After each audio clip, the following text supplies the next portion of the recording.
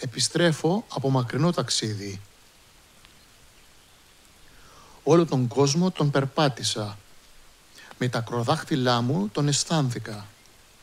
Την ομορφιά με δέος την προσκύνησα.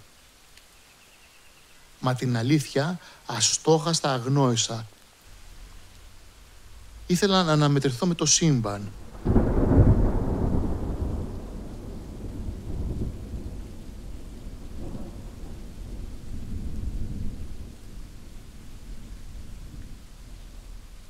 Στον κόρφο του ιδεατού αποκοιμήθηκα, κρύβοντας στο κλαβιέ μια φρούδα ελπίδα.